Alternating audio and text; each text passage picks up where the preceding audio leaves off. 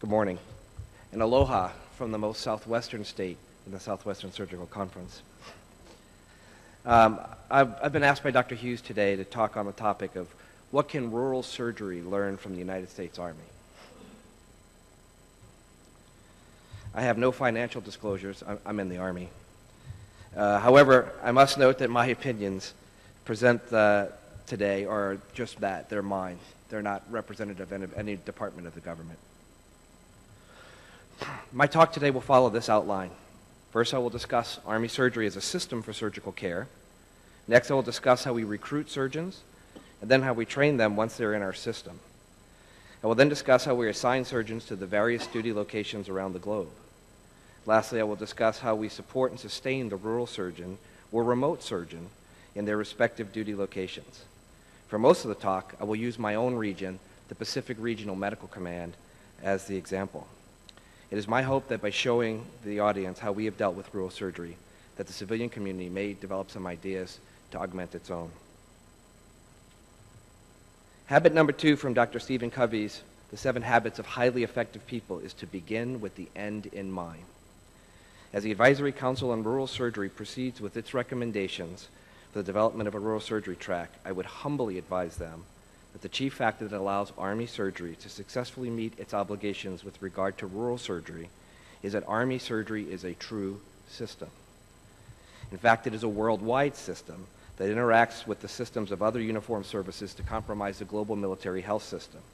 Both inside and outside of the United States, our system also interacts with civilian facilities and providers to contract services where and when the direct provision of care is impossible.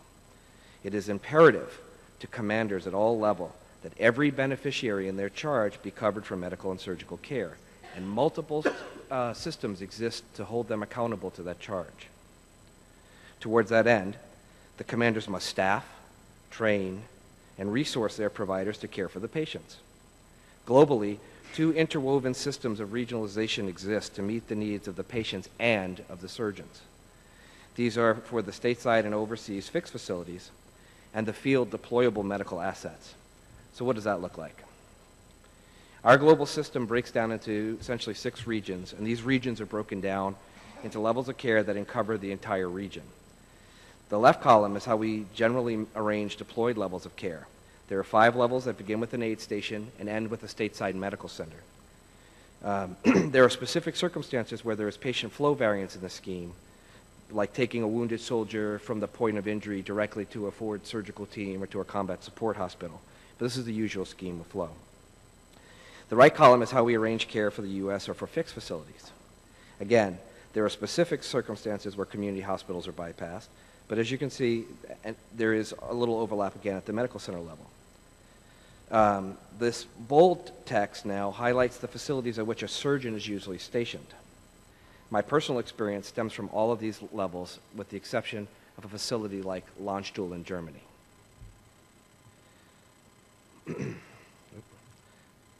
However, it is at these highlighted levels of care where our surgical practices are most like the rural practices of our civilian counterparts.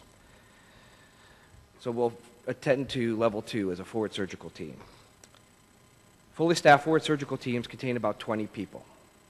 That's it. Four surgeons, the two to three general surgeons or one to two orthopods, depending on the mix. Three nurses, three nurse anesthetists, two admin personnel, three LPNs, three OR techs, and three medics. They are designed to operate with support for up to 72 hours, with over 30, 30 critical patients during that 72 hours.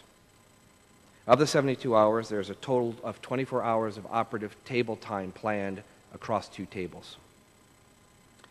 The FST can be, and now in current operations, is most commonly split into half FSTs, even smaller units. They have 20 to 40 units of blood products available. A combat support hospital, or CASH, is a very modular facility that can be configured for the assigned mission and can have from 16 to 256 beds, but most commonly have 84 beds. They have two to eight OR tables and can be split from two to five locations. Pharmacy, lab, x-ray, and the possibility of a CT scanner exists, and dental assets may augment the surgical package. The surgical element consists of four surgeons, two general surgeons, an orthopedist, and a gynecologist, two emergency medicine physicians, one critical care physician, and one ward physician. And a combat support hospital may have two of those surgical packages. Depending on mission configuration, specialty augmentation can consist of any of the following plastics, audiology, dermatology, podiatry, neurology, pain management, OT, um, and even potentially what we call a neurosurgical team or K team. It may have over 80 units of blood on hand at their different sites. For fixed facilities, a small community hospital can have one to two general surgeons, one orthopedist, one to two gynecologists. They may have only one to three OR or procedure suites and generally do not have an ICU. Their blood supply is usually quite limited and may have to contract and pool with the local community to try to get blood when and where needed. So a fully staffed and deployed combat support hospital can actually have significantly more capability than a small fixed community hospital in the United States. This is the map of the United States Pacific Command. It shows, as indicated by the black arrowheads, most of the sites that we support is a system of clinics, community hospitals, and a medical center. The multi-service nature of the area that Tripler serves is illustrated by our support of an Army, an Air Force, and two Navy hospitals, as well as a multitude of clinics of all branches. Our area of operation covers over 105 million square miles, crosses 15 time zones, and has 3,000 languages spoken in it. Robust systems for communication and transportation of patients ensure that both patients and surgeons get the support that they need in order to provide excellent and timely care to our military beneficiaries, their families, and other covered beneficiaries. These are photos of a small deployed half FST type of a team that I was recently in charge of in Central America. I was also the only surgeon assigned. These photos are shown to give the audience an image of the austerity of the conditions that the surgeon must face, yet still provide good surgical outcomes. Although the resources of facilities are quite limited, the problems presented to the surgeons who work here are not. On one single memorable day, I saw a patient trampled and gored by a bull, a local national police officer shot in the brain, a patient with a perforated appendicitis, and an infant with prune belly and a urachocutaneous fistula. What do you do with that in a tent? Right? My answer was an exploratory celiotomy with splenectomy, gastrotomy closures, and fracture stabilization medical management for increased intracranial pressure and request for emergency air evacuation to the neurosurgical center of the nation, peritoneal washout and open appendectomy, and then a phone call home to speak to my colleagues who are a pediatric surgeon and a pediatric urologist to figure out where I could or if I even should start to try to address this child's problems. This may not be an average day while deployed, or an average day in a rural U.S. hospital, but problems like these occur in both settings and we must be prepared to deal with them. These are photos of two small community hospitals that are geographically remote and contain limited resources. The picture on the left is of Weed Army Community Hospital and is in the middle of the Mojave Desert. Uh, the one on the right, where I was stationed as a new general surgeon, is Keller Army Community Hospital, and it's on the grounds of the United States Military Academy at West Point. Surgeons of small facilities like these must be aware at all times of the resources at his disposal and of the conditions that affect patient evacuation. As I hope to show later, our training conditions us to do just that. So how do we get our surgeons into our system to train them for these duty locations? Our surgeons come from several sources, but they can be classified into Army residents and fully trained surgeons. Our resident pool comes from students who have been granted a military obligation from ROTC or West Point and have been granted a deferral from active service in order to go to medical school. There are also students who are directly commissioned after college who accept a medical school scholarship or those who participate in a loan repayment program but did not start with a scholarship. Both of those paths result in obligation to trade and serve in the U.S. Army after medical school is completed. The Uniformed Services University is the military's own medical school and represents the last pathway to Army surgery residency. Trained surgeons may sign up for loan repayment programs and may join directly without any monetary incentives, but both paths incur obligation to serve.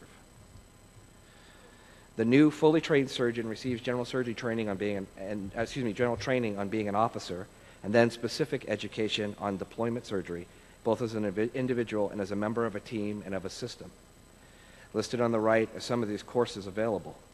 Just to make sure that it's clear to the audience, the cost of required training is borne by the Army, not the individual. After an initial basic course, a program uh, of study in our residencies gives the resident uh, training that continues their officer education and uh, provides them with a curriculum that is approved by both the RRC and the ABS, as well as specific curricula on war surgery at all levels of care and deployed surgery in environments other than war, such as humanitarian and disaster relief. I'll now expand more on what we do for resident training, as this is most related to the development of a rural surgery training track for our civilian residents. At Tripler, my medical center, our curricula are vertically integrated throughout the residency, so that there's not just a course or a rotation or a block of time that the resident is exposed to training for rural or remote care, but rather it is ubiquitous throughout the entire residency training program. As one can easily imagine, teaching for surgery for a practice in the remote medical activity or the forward surgical team is quite different than teaching surgery for practice in the major medical center such as Tripler. Nevertheless, our programs are responsible to prepare each graduate for service from the community hospital to the large medical center and for all levels in the field. We don't get to pick a site to train them for. We have to prepare them for all those levels and immediately. I have just recently sent a graduate to the war the day, last day of his residency. There is no time for charm school after. They need to be ready to go. One of the ways in which we prepare our, our surgeons is to have parallel curricula. This is most clearly demonstrated by our trauma and war surgery curricula. For trauma surgery, we teach the same trauma information found in uh, civilian programs, but we also teach war surgery from both our individual war experiences and from evidence-based sources like the Joint Trauma System Guidelines. These guidelines are housed and maintained by the Army's Institute of Surgical Research and gathered by the Joint Trauma Theater Registry, as well as individual surgeons who record, interpret, and publish their own experiences, some at forum just like these. These are available for, for public viewing at the website listed on the slide and can be found by a simple internet search of the ISR and JTS guidelines. On their main guideline page, they have a link posted to email the webmaster with an opposing view to any published guidelines. And this process of constant assessment and improvement helps provide our programs and our trainees with current usable material that is specific to situations that they will encounter downrange, and uh, specifically that are different than you would find in a civilian training program. Additionally, we teach common procedures from surgical subspecialties and have either specific rotations or direct education from the subspecialty experts by didactic instruction, simulation, or clinical methods. Examples are cesarean section and lateral canthotomy with cantholysis. Simulation is particularly helpful for techniques like external fixation of fractures or craniectomy with a bit and brace and a Gigli saw. So how do we get our surgeons, once they're trained, stationed to the rural or remote locations? This is where our system is less likely to be applied to the civilian community. Assignments are based on the needs of the Army, the needs of the individual, the individual skill set, rank, and previous assignments. All parameters factor into the eventual assignments, but the single most important factor is the need of the Army. So a surgeon who wants to become more competitive for, say, selection eventually into a fully funded training in colorectal surgery might volunteer for a more remote posting after he completes his surgical residency. Ultimately, there is a distribution of surgeons across the globe with variable tour lengths based on one's desires and one's location. So once a surgeon is assigned, how do we support and sustain them in these rural locations? Some of the ways are listed here. We've discussed regionalization of care, but I'd like to again emphasize that our system is not just a set of willing surgeons re ready to take the rural surgeon's complex patients, but rather regionalization of support for the surgeon as well. Our system supports our surgeons with global medical information support by using an instantaneous worldwide outpatient electronic medical record, as well as digital medical imaging and capture and evaluation systems. We heard a lot earlier on about people bemoaning going to electronic medical record. I tell you as a physician champion for some of our systems, embrace it. Turn into the skid. And eventually you're going to try to wonder how you ever worked without it. Our system supports uh, uh, uh, system, excuse me, provides the, the surgeon capability to see notes written anywhere in the world immediately upon completion. The reciprocal is true for surgical consultants, as they can see the notes written by referring providers and thus make their consultations, whether in person or via remote systems, more efficient and effective.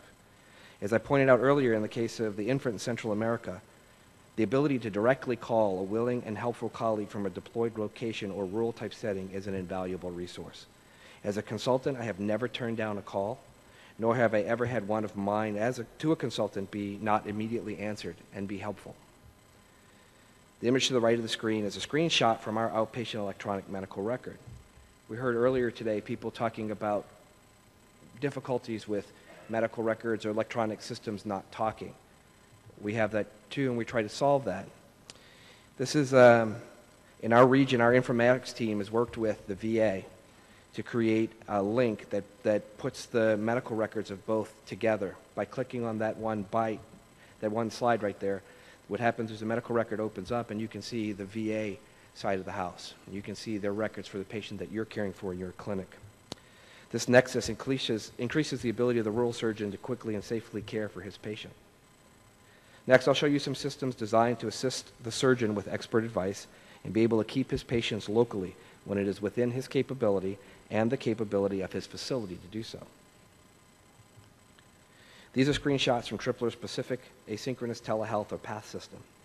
Providers and consultants are given accounts, and a secure portal is created that links patient data, notes, images, and chat streams. This enhances communication across all pertinent disciplines in a, and all locations in an asynchronous manner.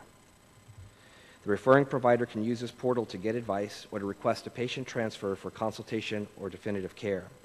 The system is a module for adults and a module for children. The screenshot has been redacted for patient privacy. The consulting surgeon can use this system to track the status of his patients with regards to both their location and their progress through the consultation process or services requested. It serves to augment communication for care upon the patient's return to home, as well as coordination of the patient's physical travel. The system supports the education of the surgeon also with Aloha. Now, Aloha has several meanings in Hawaiian. It's hello, goodbye, and I love you. But in my hospital, it also means the asynchronous local overseas hospital academic system. As you can tell, the Army loves acronyms. I'll address this system in a bit, but I just wanted to point this out to you during this system as I have the screen up now. So I believe we have some pretty robust systems to help support the rural surgeons with their non-urgent cases. So how do we support them locally with their more acute or critical patients? Our answer is the EICU. Our electronic ICU is an, is an adaptation of off-the-shelf technology and secure communication systems that link the consulting hospital to our critical care physicians.